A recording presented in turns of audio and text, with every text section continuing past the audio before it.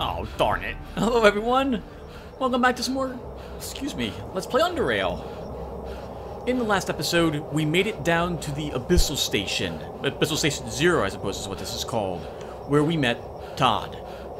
Todd is the only survivor, it looks like, still alive down here in Abyssal Station Zero.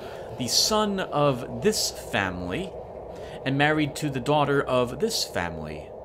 The station apparently consisted of native Lemurians and people from Atlantis as well, a different uh, water area somewhere in North Underrail that was also underwater. These Atlanteans were used to living conditions like this, underwater, confined, cramped spaces.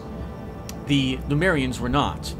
The Lemurians suffered all sorts of different types of psychological problems trying to live in here when they were evacuated down in here when Bio, Biocorp attacked.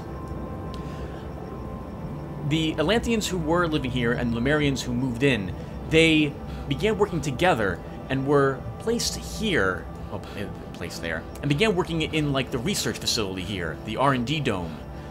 But the research facility, th that effort seemed to have created some division into how things were done. Eventually, everyone who went into the R&D dome stayed there, until one day they all left simultaneously. They were not normal upon leaving. They demanded people join them and leave, and so they did. Or rather, pe people who would not leave uh, were killed, and a large battle took place between the people who were in the R&D and the survivors here. The R&D people eventually took all the submarines or whatever means of exit they could from this station and went to the surface. We don't know what happened to them. Oh, I know what happened to them. We'll find out what happened to them very soon. All this was discovered by talking with Todd, and Todd himself has problems. He has multiple personality disorder. He is acting out the roles of his father, his mother, his fiance's uh, mother and father as well. Todd is eating from his can. He has had lots of problems in his life. We're not going to read about too many of them because I went through all the different conversation topics to get Todd's other personalities to convince him to open the door in R&D, but I will summarize what I can. His mother, who we had to convince, was extremely protective of Todd, and we had to convince her that Todd is capable of making decisions on his own. And does well when he thinks of this and can do these things without her assistance and or guardianship. For his father, who calls Todd worthless all the time, we had to convince him that Todd actually knows what he is doing in regards to the tools and using them to fix the various subsystems and problems that go wrong here in Abyssal Station Zero.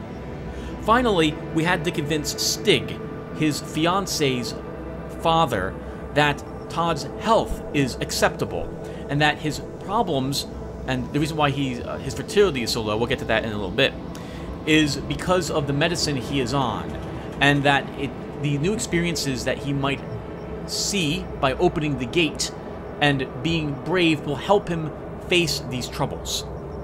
Now, we during this these conversations, I was able to convince his father to let him do this by having Todd instruct us of how to use that tool bracer we picked up in this room. To successfully navigate that conversation, you must fail in every way imaginable to use the tool bracer because Todd, acting as his father, will get angry and show you how to use it. But that means that Todd knows how to use it because he's actually the one showing you. The father's personality will then recognize that Todd is doing it and allow and realize that Todd is not so useless. He can actually uh, and well, I don't know what he can do, but it will be enough to convince his father to let Todd go and open the door. For Stig, you have to answer a series of questions about how what you're planning to do, like why you want Todd to open that door, how will it benefit him, is it okay that he experiencing this, what if something goes wrong? Depending upon how good or bad you did, uh, you'll get a grade basically. He'll tell you like I don't I disagree entirely with you or I can see some points but not others. It's basically kind of like there was a game called Mastermind where you knew if you were getting one thing like you had certain amounts of choices with these crystals and every time you got you could figure out eventually as you guessed the the answers to the questions which ones were what colors. It's kind of like that. It's like a it's like a combo lock. Now the the way to solve the father and Stig's puzzles are also online. So you can, someone has a, a post, I think, on the Underrail forums about the, the successful buttons you press to navigate through those conversations, which is, makes it very, very, very quick. And in my case, I've done this already, so I, I feel no remorse or guilt about doing this because it, it took me a long time to solve this by myself. I also have a video. I could already watch that video and solve this problem too. Now, the mother for Todd is the most difficult to convince. You kind of have to navigate through all these different conversation topics, which slowly unlock other conversation topics, and will eventually all be brought back to the pictures that we saw on the wall earlier. In fact, you have to click on those pictures at least once in order for you to successfully solve her puzzle. So basically, you you ask a question, ask another question, ask another question, and then you get back to the main uh, topic conversation list, and there is something you can say about one of the paintings. Always choose that option if it shows up, and that will make some progress towards getting the mother con uh, convinced that you're doing the right thing. And then a conversation topic that you had used to get you to that painting will vanish from the options you are allowed to talk about. It's the longest one to do, and it's actually the reason why I decided to cut all this out, because we would have been reading for like 35 minutes just of the mother's conversation topics. It's interesting, but if you want to watch it, I recommend, I'll try to remember to put a link down here, but I can't promise I'll remember, to how Garrett solved these uh, these questions. This way you can read all of it, because I don't want to. I don't want to read I want to read the puzzles for like an hour. All right, so uh, as you can see, I decided that, okay, no one really cared what I was going to do. I got no comments about mm, drag him to drag him to the door, intimidate him to make him open the gate.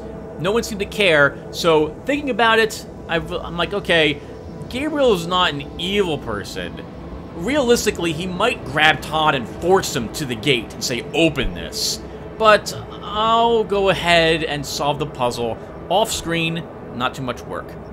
And now that I've talked for like 10 minutes about this, I'd like to speak to your parents and your parents-in-law again.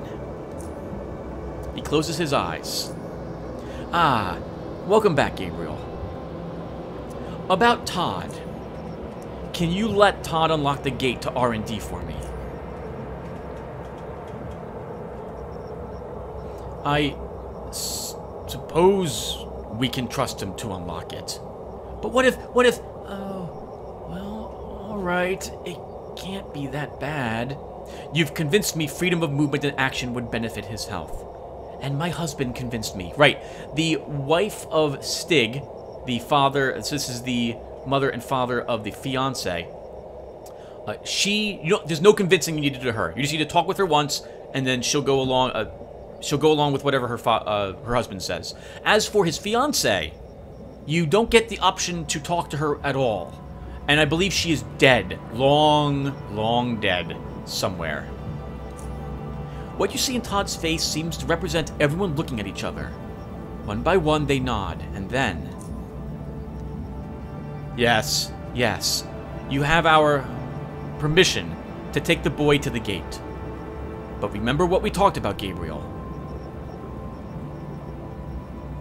I will do so right away. Todd, are you in there somewhere?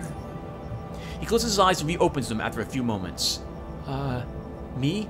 Todd, by the way, as you solve each of these family members' uh, puzzles, you hear how he, what he thinks about that parent and why he is kind of acting the way he is for that parent. It makes him, it makes me feel sorry for Todd. It really does. He's lived here, he's had a rough time of it all down here alone, and this apparently is his mind's way of dealing with the situation. I mention that because while we've talked to him and you got a general idea about who he is and, and so on from the last video, I want to stress that I will try to save Todd if things go bad. I need you to unlock the gate to the R&D dome for me. I can't go there. I told you. I talked to your parents. They'll allow it. They do? He pauses, confused. Yes, they... They do. Follow me.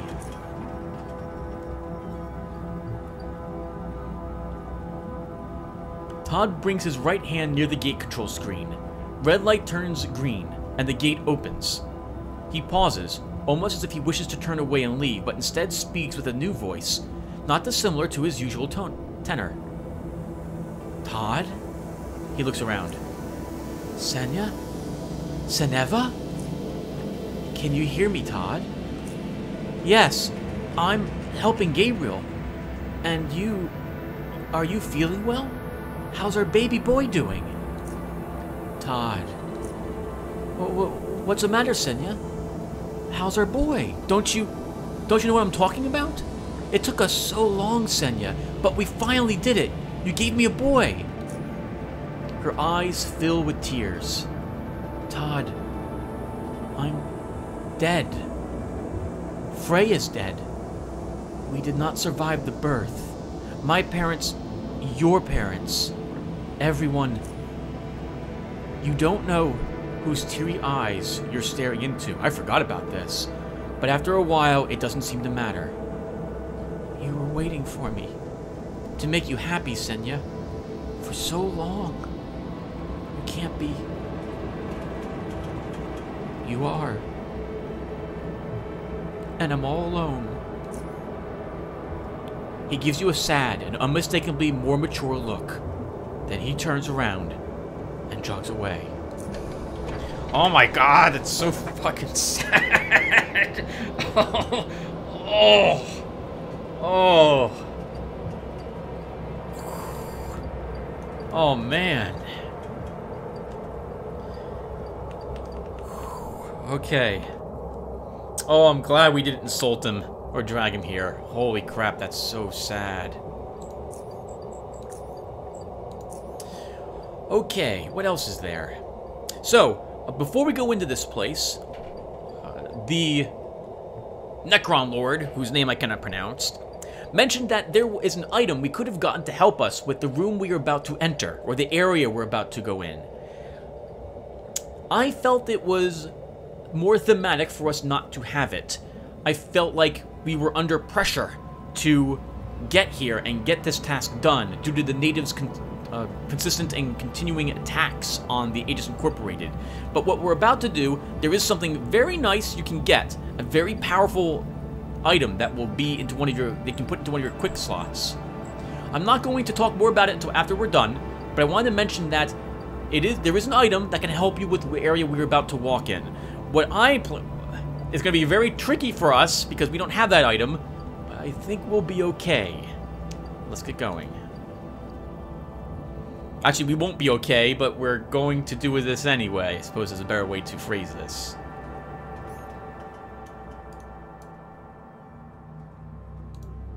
Special Lab, Residential, 1, Docking, Residential 2, Power. Special Lab is to the left, everything else is to the right. When I... Hmm. When I was really young, my parents worked at a place called AT&T Bell Laboratories at the Holmdel Research Park.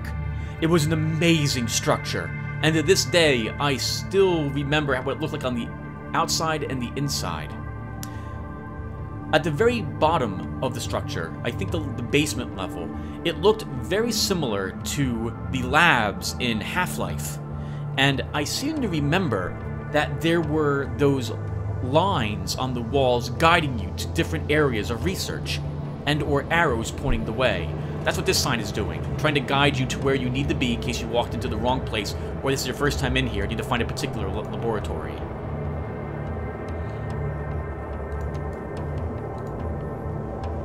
No power.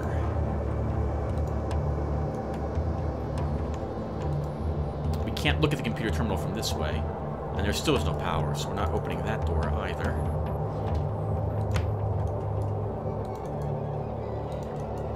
Oh, I hope my, my... It sounds really loud in my ears. I hope the music's not too loud. Excellent material for fireproof clothing, as basalt fibers are highly resistant to. Rebars made from these fibers have a much higher strength-to-weight ratio and corrosion resistance. Wool for insulation filtration as hydroponic growth medium. Transparent metallic glass, a microalloy comprised of is made through the process of aerodynamic levitation, whereby the materials are suspended in air and melted with lasers. Expensive to produce, otherwise, theoretically, the entire Abyssal station could have been constructed from. We'll go ahead and read a little bit of this uh, on screen, everyone. Or rather, uh, uh, on screen. I'm going to read three things from each computer terminal we see.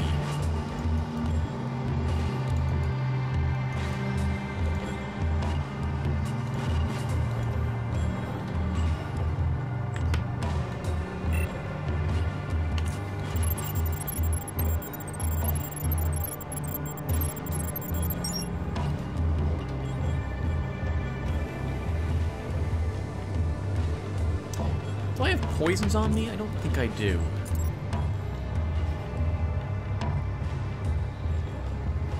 I do have a crawler poison. You know what? We're gonna take one steel plate, and we're gonna make some caltrops.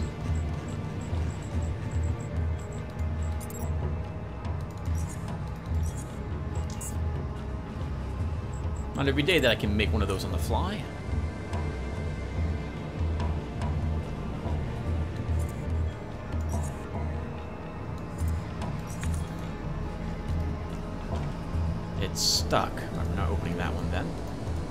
So, when I did this area with Garrett, I instinctively realized this area is a trap.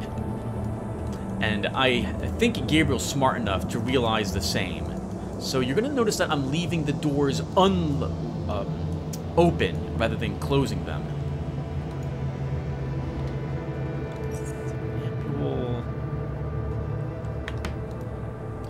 A symbiotic environment combining conventional aquaculture with hydroponics, making the aquaponics. Fish, crustaceans, mollusk, hydrozoan colonies. Biofilters, where nitrification bacteria can convert ammonia into nitrates for plant. So far, just normal research it looks like.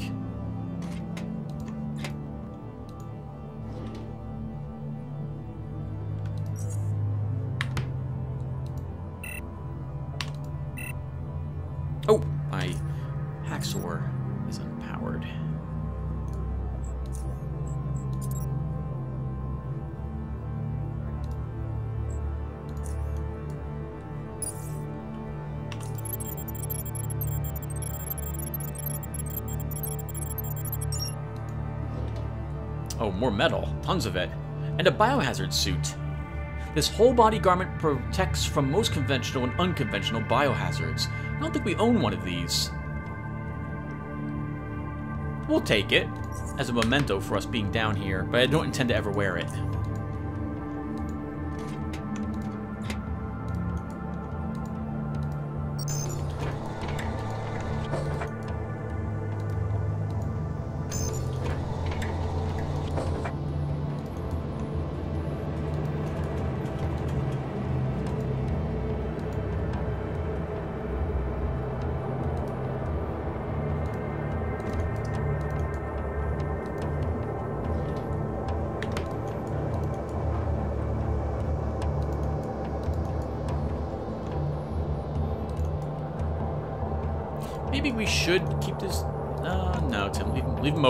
Already started opening them.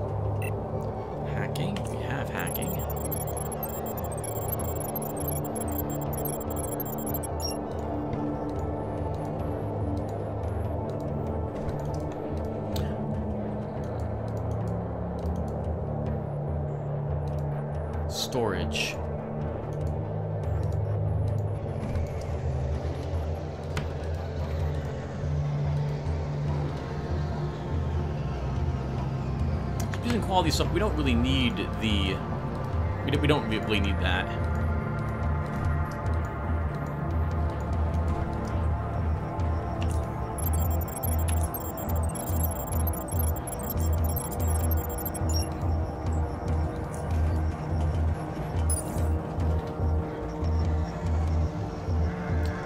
Uh, that could be worth taking. So the rifle bipod. If we ever make a sniper rifle. That stuff will help increase its worth it dramatically.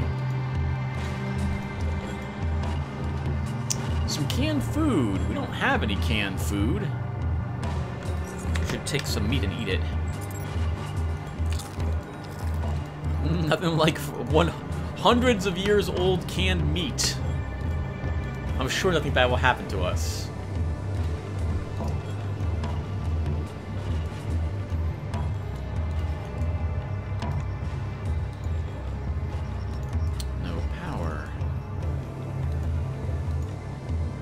Remember, the Acorn is also located somewhere in this facility.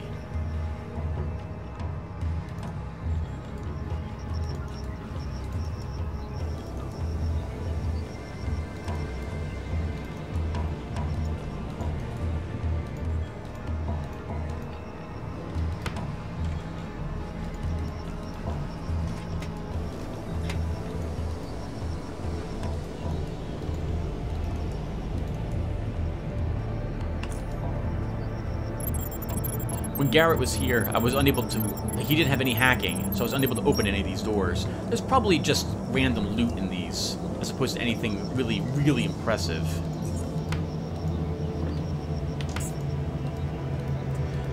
In the final room we will walk into, there is a there are a few crates or desk drawers which possess high-level weaponry, if I recall correctly. Not getting in there. How do I get in that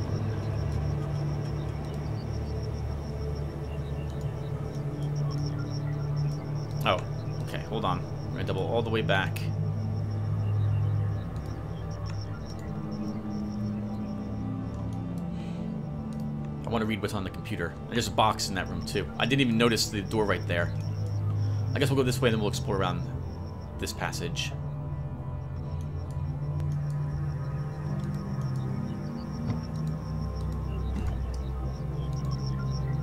Medicine canisters in the manufacturing dome.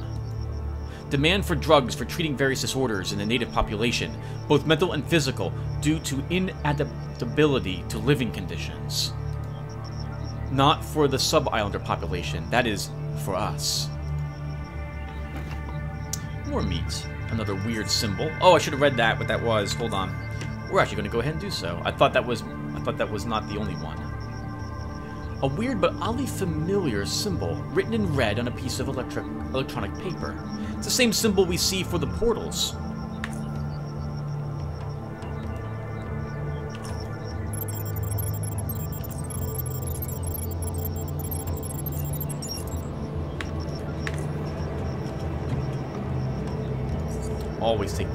Else?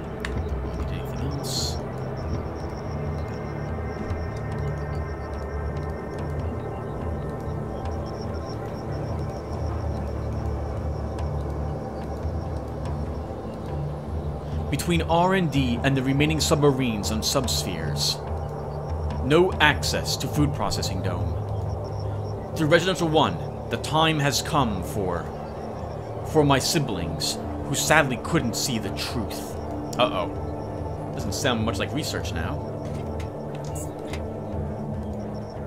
Just as he expunged the invading submarine, tons and tons of sooted slime in its place, darkening bring a fragment of that which gave us wisdom. Flotsmer's power, infinite. We've seen this language before. That's from the natives.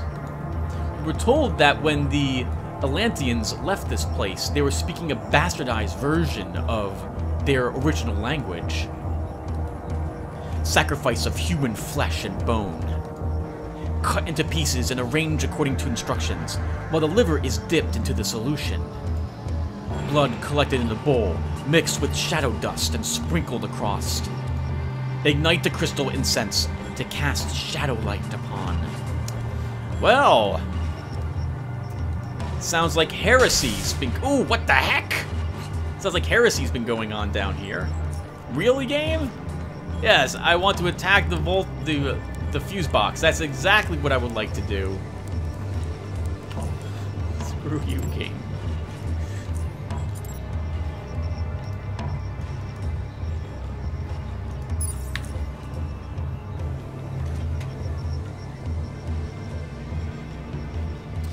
Guess we should take these. They don't weigh anything. Even if it's not super high quality, they'll still be useful.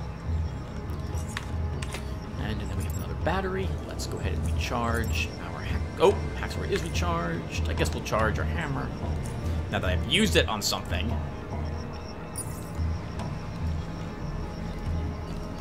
Yeah, that sounds quite different than researching about how to make better alloys for clothes construction or fabric. Sounds uh, blood and research. That happened on Mars. If I recall Doom Guy correctly, or just Doom in general.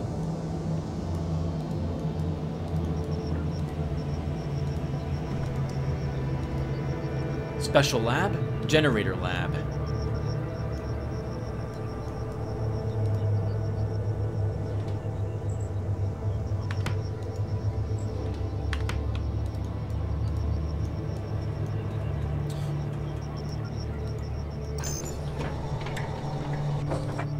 Okay, everyone. Dangerous time now.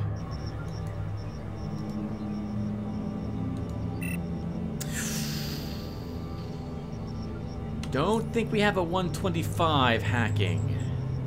I do not. 120. Looks like this stuff gets to stay there.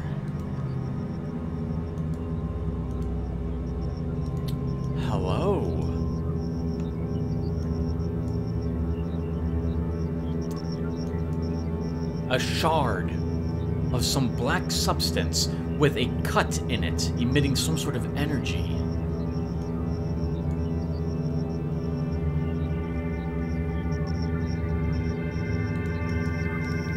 If you've ever seen the movie The Dark Crystal, it's a, I believe it's somewhat like that. Garrett did not touch this, and I will not do it with Gabriel either. This is a bridge too far for me to touch. It seems it would be bad, I think, to do so.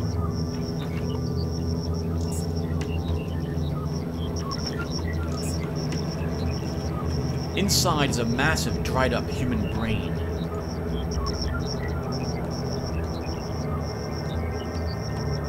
There's no power to the organ tank, nor to the computers here.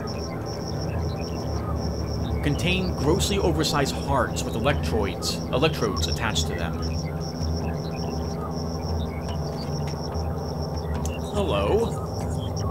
High quality psionic components, we will take all of you. MEG tracings. Magnetoencephalogram of a certain R. Jansen's brain activity during high frequency shadow wave exposure, as printed at the bottom. Doesn't look healthy one bit. Pacifier. The cumbersome and clunky construction of the psionic headband suggests that it is just an experimental model. It seems that their designers were looking to enhance non-lethal psionic techniques.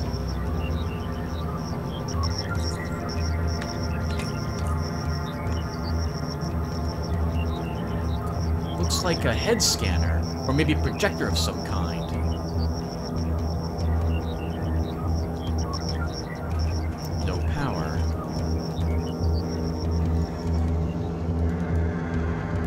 Before we turn on the power, let's search the rest of this.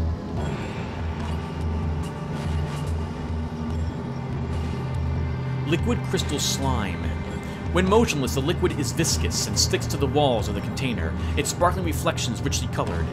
But when shaken, the liquid breaks up and turns into mate, mate dry lumps. It remains so for a few moments, then it resettles and reliquefies.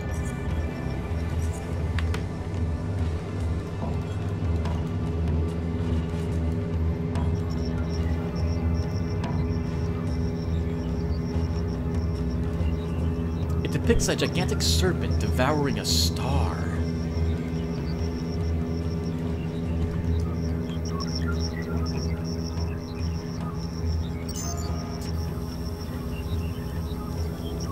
Oh, okay. Let's say it looks like the the glitter, glimmer, coming out sparks coming out of this. Stop for a second.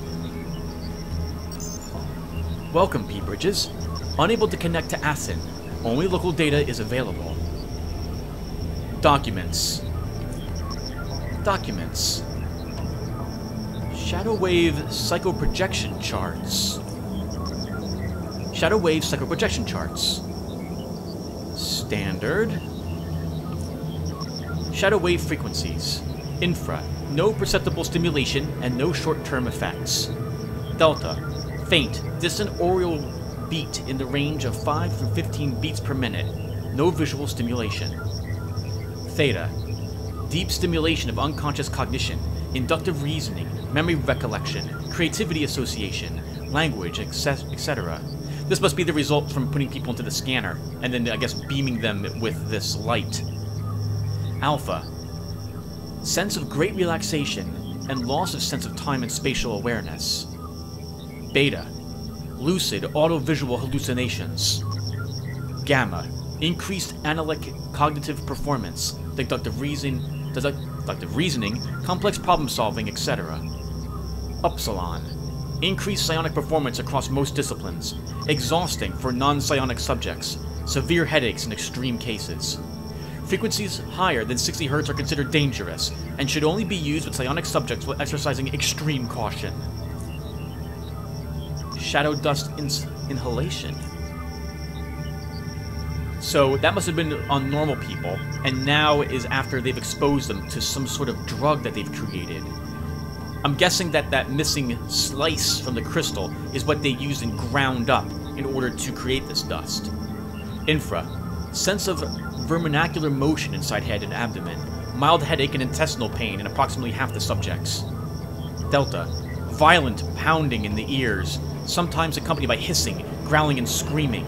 No visual stimulation. Theta. Creeping terror, distress, coldness. Alpha sense of asphyxiation and claustrophobia. Beta, temporary loss of sight and hearing with the exception of sporadic audiovisual visual visions, most commonly containing flashing pairs of lights, serpentine motion, and indiscernible discernible echoing sounds. Gamma, suicidal urges, madness, often leading to cerebral hemorrhaging and death, complete and overwhelming sensory hallucinations. Frequencies higher than 42 Hz will consistently result in death of subjects that have inhaled shadow dust. So they were doing some pretty... Uh, uh, I don't know what the... Immoral?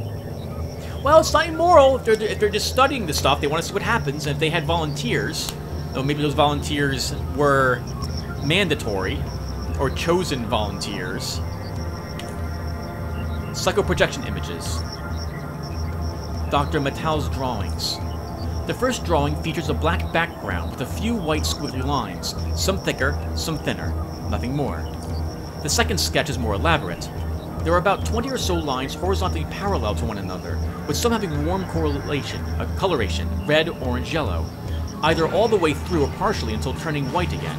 They are shaped like sine waves with smooth, constant amplitude, but some waves are only uniform up until they spiral out of order and outside the bounds of the drawing. The third sketch is yet more elaborate. The background is still black, but all the lines are colored without restrictions. Their mutual spatial relationship feels organized in a fully two-dimensional way, while their shapes are more varied in size and proportions, if still rounded for the most part. Simple geometrical shapes like triangles and squares split in half diagonally are also present, as if emerging from some kind of fabric formed by the underlying intertwistment of multicolored lines. Yet the form is purely abstract doesn't reference anything in, from the real world. The fourth drawing is completely blank. The fifth drawing can easily be mistaken for a long-lost work of abstract art. It is fully colored, three-dimensional painting of a warped land or water, or something completely different, with angular shapes of complex geometry placed on it with a great sense of spatial awareness and proportion. The colors are overwhelming, as if the painter was compensating for the lack of vividness or some other inherent property and many lines were drawn multiple times with slight deviations in their dimensionality. You get the impression the image is supposed to represent something more, but it is difficult for you to discern what. The sixth drawing represents a cold, calculated organization of shapes, void of artistry and human emotion, a technical drawing in essence.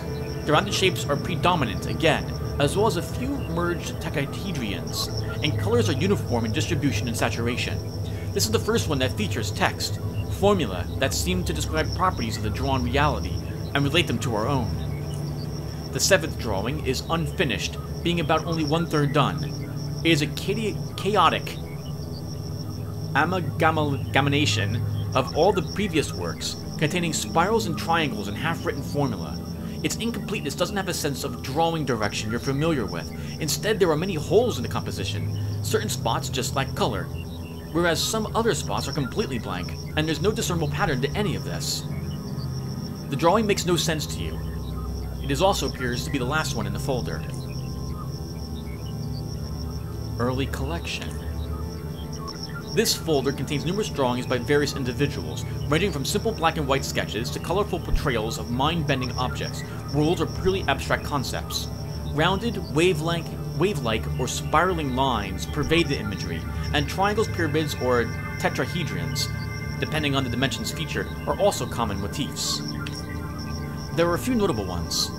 A transparent submarine dripping with black slimy mass, beams of light illuminated from dark below, a human figure cutting the monolith depicted as being laid down horizontally on the floor. There was black smoke rising from it and filling the room before falling back down as specks of dust. Some strange flying machine with large wings speeding through fog. Its dimensions and other properties are written next to it. A man and a woman with their hands reaching up. Tentacles emerge from below and hold them by their legs. Anatomy of a woman with some unknown markings on her vital organs. Her skin is colored green. Contemporary Collection. This folder contains numerous drawings by various individuals, most of them disturbing in form and content. They feature twisted perspectives, strong colors that bleed into one another, serpents and other sinister-looking creatures devouring or simply slaughtering humanoid beings, as well as creatures of other kinds. Some of these drawings contain formulas, occult rather than scientific, regarding things done to flesh that is often featured next to the inscriptions, drawn in one way or the other. Some of them more notable than others, humanoid reptilians driving spears to a hairy, muscular, four-legged creature. They in the middle of an endless pool of blood. A serpent constricting various objects, people, machines, cities, stars, and things greater, often titled as Sormare or Flotsorm, or most commonly Flotsormir. A vortex of some kind, dark-centered and surrounded by people both alive and dead. All of the living ones are bowing deeply, but the one who's sprinkling some kind of black dust all over it. The dead are never whole. Neuron mapping set. The dark screen slowly turns purple. Colorful and detailed spiraling shapes of mathematical perfection begin to appear in the middle of the screen, becoming more and more concentrated in the very center until a symmetrical image finally gains form. The shapes repeat in different configurations and are self-similar, composed of smaller identical or almost identical shapes to itself, diminishing its scale to apparent infinity.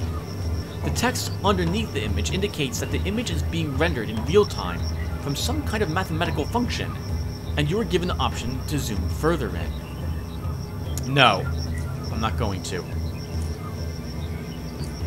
That way lies chaos. I do not desire not desire to know if it, I don't... An open mind is like a fortress with its doors, with its gates open and its... Its doors open and its gates unbarred? Was, was that, was that the saying? We're not going to look any, into that one anymore. The screen displays an image of a dissected man. His body is twisted and atrophied, and certain patches of his skin feature reptilian scales. Shadow waves on living tissue affects DNA replication. Dust into the bloodstream, which will accelerate the process and cause biomolecules unknown. Sounds like they're doing all sorts of horrible things. Hello, bullets. I'll take you because you're worth money. More bullets are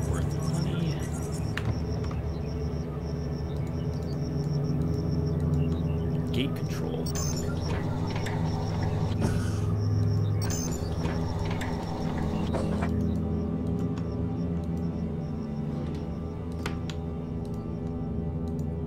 It's some kind of crudely constructed scanner. You can't deduce much, much from its appearance. Another computer. Documents. Shadowlith Archive. This is a collection of collaborative scientific notes, reports, and papers on Shadowlith recovered following Shadow Emission LEAD-129, which wiped out most of the data in the Special Laboratory database. The collection is incomplete and provides limited corporeal insight into the most basic interactions between Shadowlith and our reality. It should only serve for archival purposes.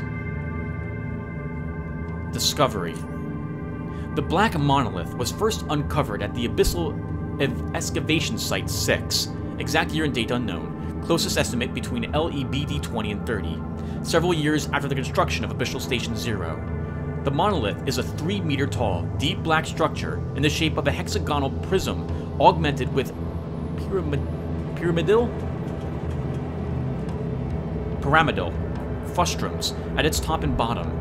It is composed of a material so dense it required four heavy sublifters to bring it to the station.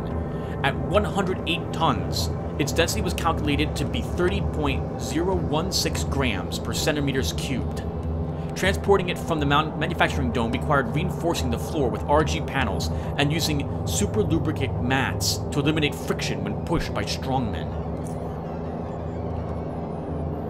Not of this world at all. Interesting. Composition test, number 142 and 143.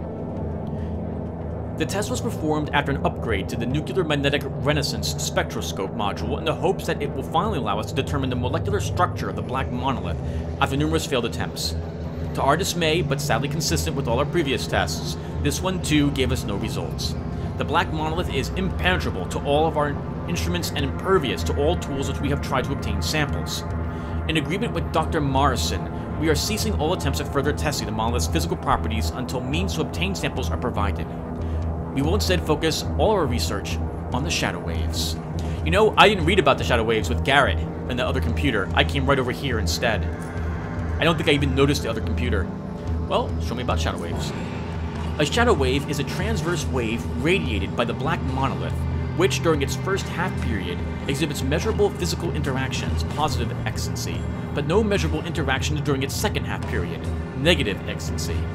In normal conditions, the change between positive and negative excitancy occurs at frequencies of 0.2 Hz, meaning that the wave completes one full cycle in 0.4 Hz, with an average wavelength of 16 microns. Uh, sorry, about 16 microns. Uh, this means about, by the way, that little swiggle, I think. The points where excitancy states come to an end are called shadow wave excitancy limits, or more specifically, negative and positive excitancy limits for each of the respective states of interaction. The extent to which the shadow waves interact with material reality is not yet known, but so far we've measured the more obvious electromagnetic interactions, effects on shadow waves on electromagnetic fields by Dr. E. Herman Sigmarsson. Some weak nuclear interactions, reactive decay at shadow wave excitancy limits, Dr. Tarbin Voignier, and some strong nuclear interactions, quark chromodynamic permutations at shadow wave excitancy limits, Dr. Stor Oyvinder. Unaccounted for increases and decreases of mass at excitancy limits have also been measured, but due to its inconsistent manifestation and magnitude, we've yet to draw solid conclusions with respect to gravitational effects of the wave. Most of these permutations and otherwise unexplained phenomena occur near or at excitancy limits, whereas during positive excitancy, the shadow wave carries energy in the form of a regular electromagnetic wave, starting at the negative and ending at the positive excitancy limit of that period, in a somewhat predictable fashion, depending on properties measured. How that energy is carried from positive and negative excitancy limits, for all intents and purposes, how the wave comes into existence again, and why and how these limits, which can be represented as fields causing these interactions, manifest in space is yet unknown. What is clear is that changes in this electromagnetic component wave during positive excitancy of the shadow wave is conserved throughout its negative excitancy, meaning that it is without a doubt the same wave which alternates between affecting and not affecting physical reality, as all of our research suggests. in quite possibly all of its fundamental aspects. The electromagnetic wave, which we've studied the most of all interactions, exhibits an unusual kind of elliptical polarization defined by Holdenstein's disjoint function. Informally, it has been dubbed the serpentine polarization, as this graph represents bears the likeness of a snake spiraling through space. All attempts at polarizing the wave in any way have proven unsuccessful, as the wave will be repolarized as soon as the shadow wave enters its negative excitancy, uh, meaning that, after passing negative excitancy limit, the EM wave will again have serpentine polarization. Looks like they were trying to manipulate it as well. So far, we've determined that shadow wave can be partially manipulated through changes in the electromagnetic field during positive excitancy. This means that by giving the wave more energy at appropriate excitancy limits, we can, for instance, change its frequency in a manner that is consistent with our understanding of the laws of reality. However, this also produces amplified and so far unpredictable quantum effects at excitancy limits, both positive and negative, depending upon how the wave can be manipulated and by the medium through which it passes. The shadow waves can be directed through space by guiding them into Orion tubes, uh, Orion tubes, with a massive magnetic field shaper at the base of the monolith. In these tubes, we can shoot photons at specific intervals, aiming for either negative or positive excitancy limits, so that we may study the resulting quantum interactions. The consistency of Henlion's law in electron-positron annihilation near negative excitancy limits by Dr. E. Herman Sigmarsson. The process can be dangerous if too much energy is introduced, which has resulted in two accidents already, but controlled wave manipulation at positive excitancy limits will create relatively stable changes in the wave. What quantum interactions occur at negative excitancy limit, like the creation of new particles, actual and not virtual, is currently beyond the scope of our understanding. So they're doing science and manipulation of something they don't fully understand. Well, I guess that's fair they want to understand it, if they can make it do something that they're familiar with and or have formula or theories about, they might be able to begin explaining things, and this might have revealed all sorts of new research. It looks like, though, based on inhaling the dust, that it has lots of negative effects, in particular that it seems to come from some other negative dimension. Like demons and what have you will possess you, or you see such horrific nightmares upon inhaling it. Object Negation Experiment number 5. This experiment was conducted to test a hypothesized complete negation of objects from reality with phased shadow wave beam technology. The object used for this experiment is a standard-sized pseudobrass cup suspended in a MO5 testing sphere. By channeling the shadow wave through two 5.3 meter long Orion tubes and introducing increasing star amounts of energy at the every positive excitancy limit, we are able to achieve the desired frequency of 67.5 Hz for both waves. One wave is then continuously phase shifted in the range of about 175 to 185 degrees, while the phased shadowlith wave beam is being focused on the cup. After the darkening effect, double star, has achieved, another energy surge is needed to completely negate the cup from existence, a process which occurred in less than 0.15 seconds. The experiment, besides proving the negation hypothesis, also proves Botton's principle that strong chemical bonds will ensure that whole objects will be affected. Star, using Sigmarsson's Renaissance function. Star Star, shadow photons and the darkening effect. Dr. E. Herman Sigmarsson. So they're just quoting where um, what they used to get that effect and why they were using it. In conclusion, the fifth test was a complete success the only losses being the two Orion tube and one MO5 sphere. However, those could hardly be called losses, not because of relatively small cost of the equipment, but more so due to the fact that changes in their chemical structure and the formation of these unknown liquid crystal com compounds will provide our team with new studying material. Oh!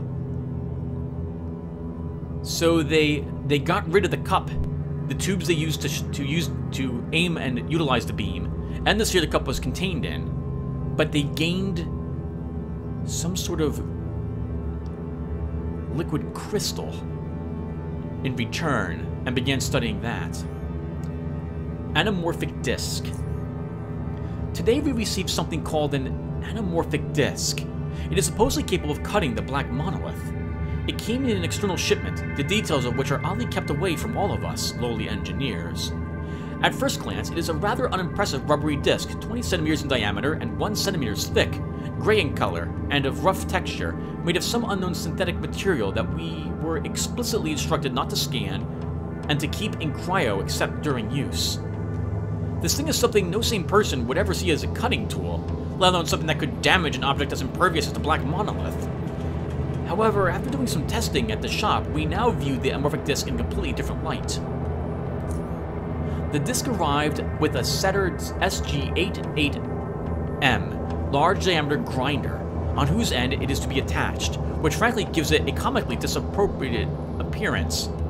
Speaking of comical, are we really expected to believe that such a primitive tool as a mechanical grinder with a rubber gasket at its end will achieve what the most technologically advanced lasers and plasma cutters at disposal can't?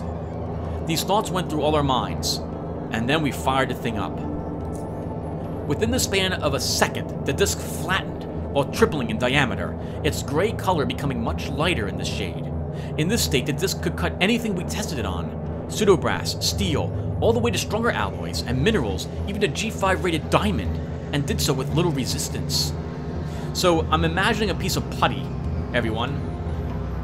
Or rather, not not putty, but like you know, uh, it's it's it's kind of flat, looks like a disc, and when they spin it, it elongates into something that looks like a a sword or or a, a beam, as it were.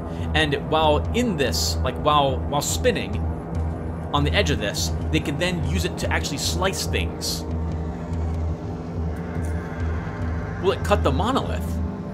That would be its ultimate test. We were instructed to modify a strawman to use the grinder and ensure that it's capable of performing the cut, taking all the potential variables into account. No idea how they came up with those, but what do I know? Just an engineer. Hopefully the cut will be performed tomorrow, after which I will file another report. And that was the last thing they had.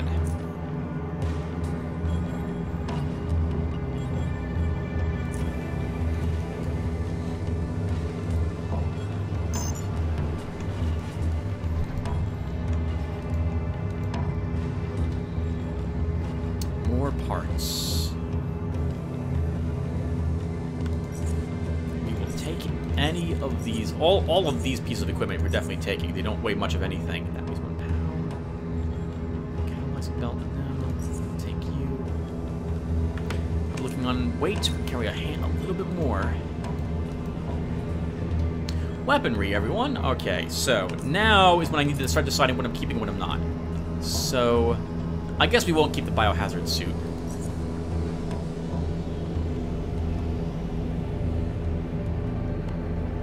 I have a place or two where I know this will be useful for us in the future, though. I guess I could take it. Darn me carrying around that armor. What else do you what else do you simply not need? So we don't need MK2 grenades, we have MK3s, realistically. So we'll drop how much do these do these weigh? Only one pound. Seven pounds for the caltrop poisons, Tim. You don't really need them. You don't really need them. I could drop all the ammo. How much does all this way? Because these these are worth quite a bit more than the ammo is. We want every single laser weapon that they have. Shock serrated tungsten steel knife. Oh, right, it doesn't matter. Our, our weapons are significantly better. But we'll still take it. A shotgun is worth a pretty penny. We'll take that as well. We could take and break all these down for components. But I don't think I need the repair kits that badly.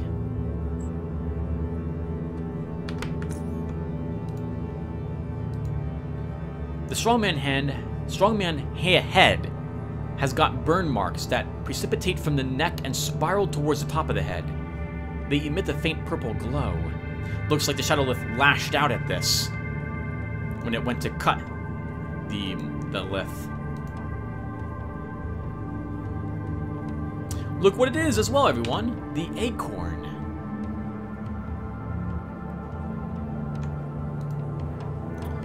So, this is it. I have a little bit of space left over. I guess we will take back our... Do I really want... Yeah, I'll, I want those. I'll take all the ammo back. Okay, that's good enough. Nine pounds left over in case we absolutely need something else on our, on our trip out.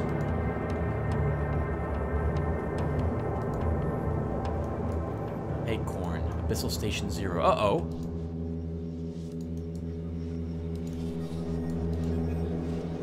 Oh, that's shut.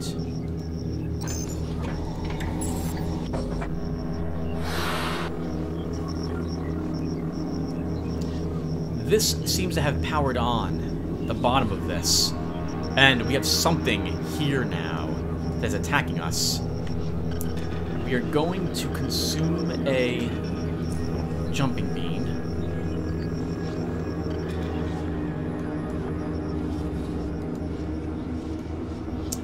Notice as well what has happened outside. We no longer see the ocean, and we have these strange spherical shapes everywhere within the station now.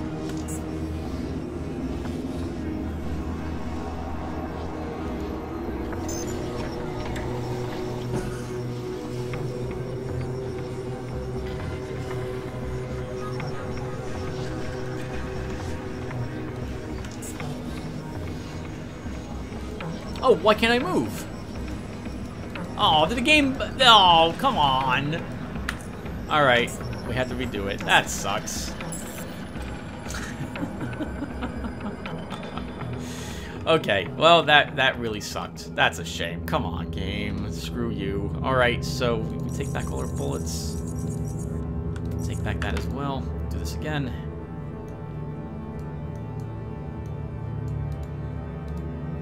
Really quick. Did that? When did that shut? Okay, so it's still open at the moment, but the moment we take the acorn, this thing will have been charged enough by what we turned on, and we can't turn it off, to begin doing...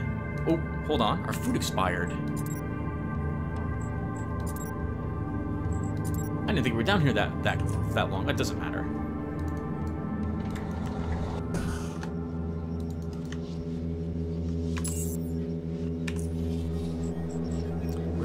My Twitch.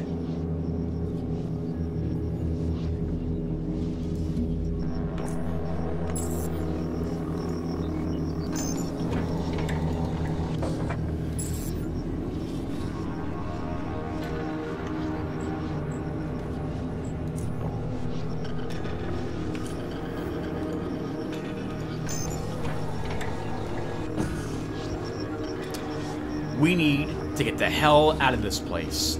So that thing that attacked us last time and, didn't quite reach us this time, they are immune to everything you try to throw at them. Nothing can hurt them. They are, again, invulnerable to everything. We need to get the hell out of here.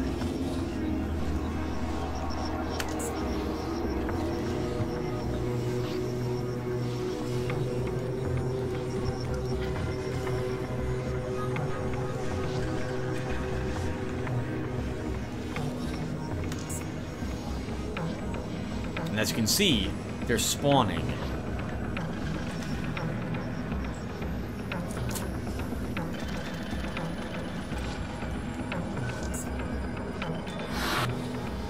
Void Rot. This character suffers 2 energy damage every turn.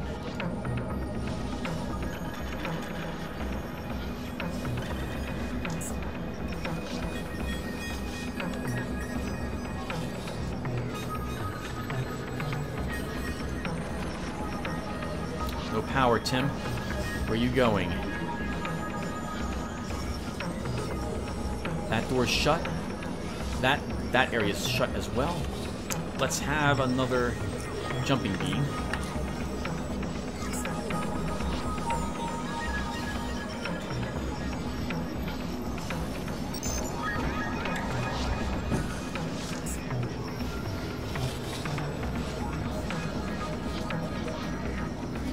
There's nothing up there but the labs.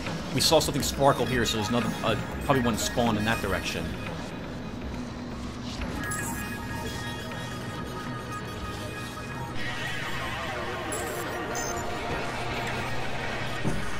We're making great time if uh, we, we were able to leave combat.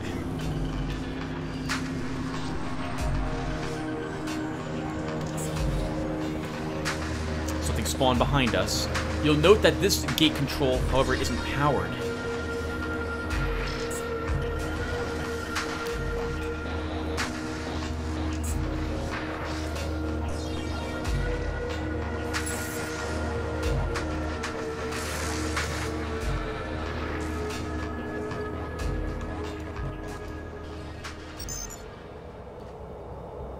You'll also note we cannot shut the gate. It'll only be a matter of time before they pour into this area. We need to find Todd and get out of get the hell out of here. All the doors are open. You'll also note we don't hear them. Oh. Fuse box, you worried me for a little bit there. I wasn't expecting to see anything. Initiative boost still in effect. Nothing. Todd is not here. Or maybe he's sleeping somewhere, but we don't have... I guess we don't have time. Don't worry, everyone. He's, he's not in this area any longer. Let's get out of here.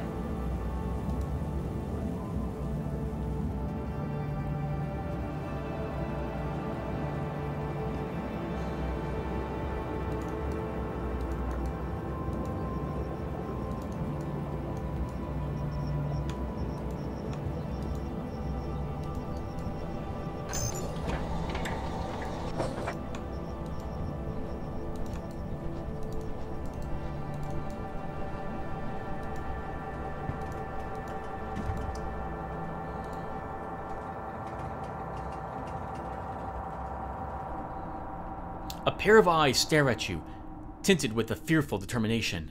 G Gabriel! Todd! What are you doing here? He gathers his courage. I want to go with you. Welcome aboard. He nods with a slight smile.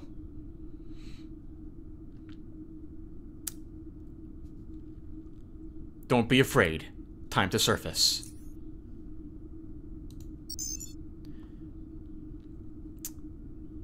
Navigation, course. Uh, we can't enter anything. So I'm going to assume that it's set to go back up to where we first entered. Nav, um, main controls, surface. Verifying coordinates. Done. Performing thruster capability test. Passed. Pinging sub-nav units. Two units responded. Obtaining gyrocompass information. Done. Plotting course. Done. Vessel is ready to surface.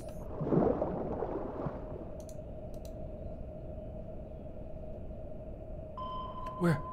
we're moving! He stares outside.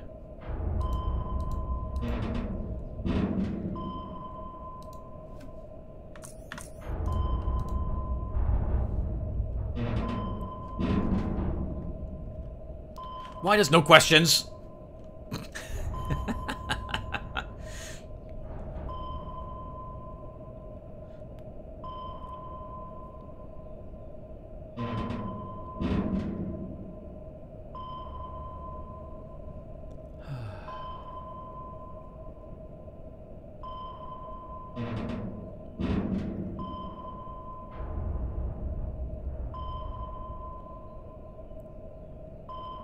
Breathing speeds up.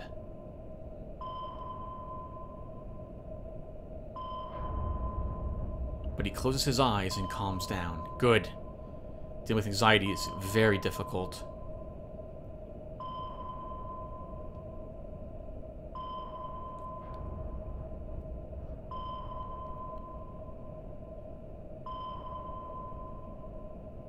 There should be a beacon here, but everything's dark. There's a lot of dust particles in the water, though. Uh-oh. Look, what was...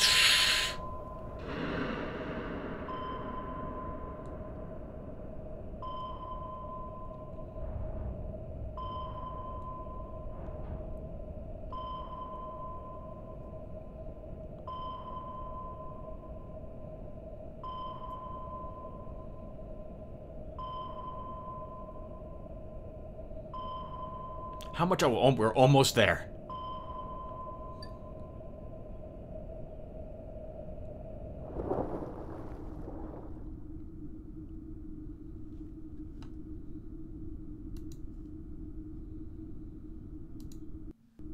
Is this the surface? It is. Now, about you. Me? This world is dangerous and will swallow you in seconds. You can't take care of yourself. But I can't take care of you either, due to the nature of my life. I'll find someone who will, though. You stay here, and I'll be back as soon as I find you a new home. He smiles. Thank you, Gabriel. I'll stay here. I'll be good. I won't touch anything. Good. I'll be back.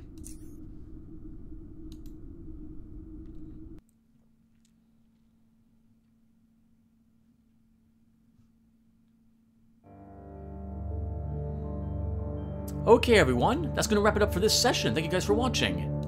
So, what's the plan now? Well, we have several things we can do. So far, I don't think anyone has mentioned what to do with the acorn. I've hinted originally that we can sell it to different people, and we can. I didn't realize this was something that we could do with Garrett. We can turn it into Aegis Incorporated, which might make sense for Gabriel to do, being that he's worked with them we can give it to the Protectorate in the belief that we will help them. Though I don't know how Gabriel feels about working for the Protectorate after seeing how they'll disregard their subordinates' complaints, as it were. We can bring it to Tanner to help Southgate Station. There may be other people we can give it to as well, or we can just hold on to it. Let me know, and we'll see to it. If I don't get an answer, I will probably turn it in to Aegis Incorporated, similar to what I did with Garrett. As for Todd, we can also bring let the Aegis Incorporated people know that he exists, and turn him over to them to help take care of him. There may be other people we could convince to take Todd in, however. Two enter my mind. The Ferryman might take him in. The Dude might take him in also. I'm not sure about that, but he might. Let me know who you think we should have Todd go with, and we'll also see about doing that. In any case, thank you guys for watching, and I will see you all in the next one. Take care, everyone.